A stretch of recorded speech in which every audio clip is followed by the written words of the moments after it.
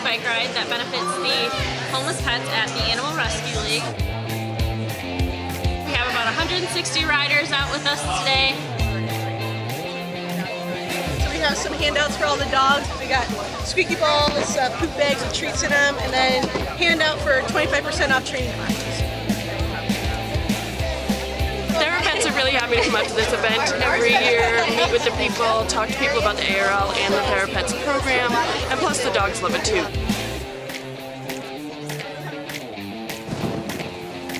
Started out beautiful. We had a little bit of rain, but it didn't stop anyone. We're still continuing on here.